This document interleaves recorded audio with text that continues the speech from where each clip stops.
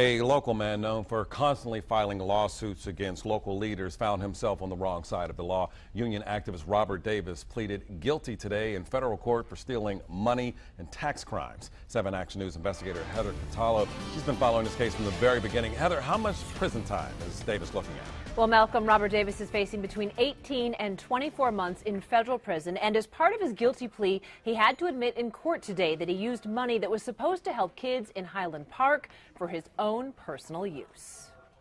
Robert Davis, the union activist who spends his days filing lawsuits against Michigan's political leaders, is now a convicted criminal. Davis pleaded guilty in federal court today to two charges embezzlement and filing a false tax return. The seven investigators first showed you back in 2012 how Davis had asserted his Fifth Amendment rights several times when he was questioned under oath about misusing money that belonged to Highland Park schools. The 34 year old is a member of the school board. The FBI raided his home and he was later indicted. The Fed said between 2004 and 2010, Davis used cover companies to submit false invoices for payment. The Fed say Davis converted more than $197,000 for his own use. It came a time where it needed to be put behind me. I mean, this has been going on for the last five years. Moments after facing the federal judge, Davis told 7 Action News why he pleaded guilty. I think the right thing to do was to get this thing behind me so that I can move forward with my career and continue to work hard on behalf of the people of the state of Michigan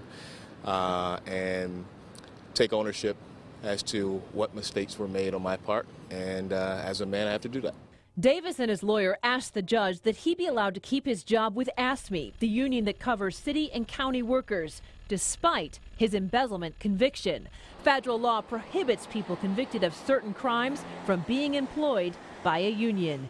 Davis says he wants to well, keep I mean, working. That's, that's, that's, why it's important to get this behind me um, so that this can no longer be that asterisk mark beside my name so that I can continue to fight for the people of the state of Michigan, the hardworking men and women here.